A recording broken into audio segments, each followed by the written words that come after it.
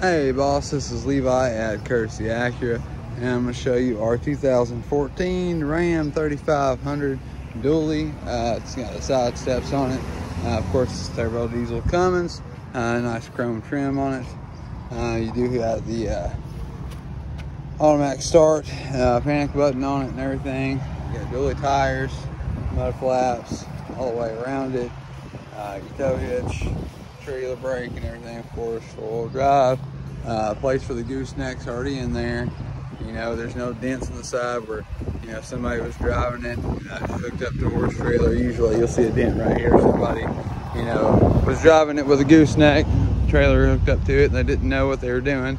Uh, comes with this really nice tractor supply toolbox. Um, the side steps are super nice on it. You got the uh, Ram hubcaps on there. Uh, tow hitches up front, very sharp. Underneath, you know, pretty much no rust oh, whatsoever underneath. Super clean. Hard to believe how clean this thing is for, uh, you know, the price and the mileage on it. It's got 370,000 miles on it. Let's see here. There's your uh, four-wheel drive change. It does have the uh, kind of touch screen info center. Looks like the glow plugs kind of warm up there for a second. It's warm out today, so probably don't need too long. Boom, okay. So it's got Sirius XM radio, AM, FM, and XM radio. So you have all those uh, options there. Anywhere you take your phone. Speakers sound good. AC's already kicked on, nice and cool. That was quick. Trailer brakes right here. Super clean in here, no tears in the seats. I mean, it's kind of incredible how clean this thing is, man. Someone really took really good care of it. Um, as far as everything goes, you got your automatic lights. Uh, it does have Bluetooth, so that way you can control your phone from here while you're driving.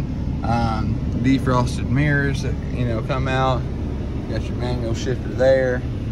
Um, tow haul mode, parking assist. That parking assist is huge.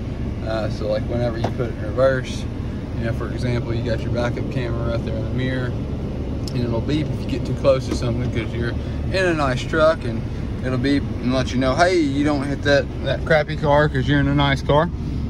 Um, parking brake release down here. It's good. Take a look under the hood because I know that's something that you're going to want to see. Um, plenty of space here. USB aux cord and uh, 12 volt there plenty of place for change, phone and stuff. You can lift this up, have a third person sit here in between the gear shift uh, that is there. Um, but it sounds great. You got your uh, high beams and your fog lights down there. Uh, looks like it had ODM, so I think it probably has been deleted already, which is a question a lot of people ask.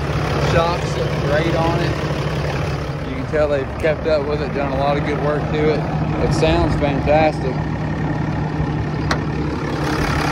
Got hydraulics, so you don't have to have an annoying thing. 6.7 liter Cummins active air. Now, all of ours go through 130 plus point inspection, so no air uh, filter.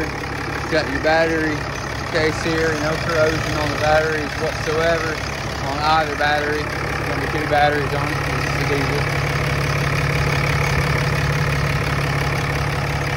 It's really nice. Um, this seems to be the thing a lot of people want to see.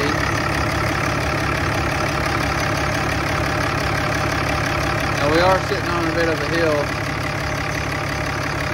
so we're on a bit of an incline, you know, right there. So that's the only reason it's going off to the side is because we are on an incline.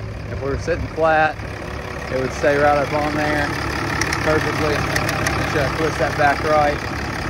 But yeah, uh, new belt has just been put on it as well. Just had a new belt put on it. Close that back. Yeah, new belt on it. Sounds great. Shocks look great.